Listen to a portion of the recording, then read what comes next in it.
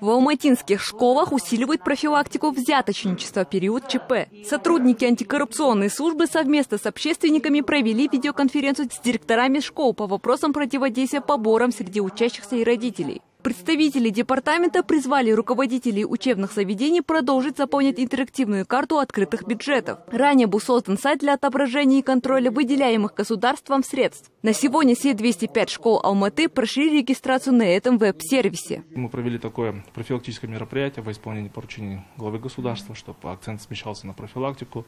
Вот предупредили о тех последствиях, а, которые могут быть за неисполнение финансовой дисциплины в учебных учреждениях. Во время совещания глава городского управления управления образования напомнила о персональной ответственности руководителей за коррупцию подчиненных. Лязат Жукубаева отметила важности соблюдения правил, закрепленных за преподавателями и недопущения денежных поборов в школах.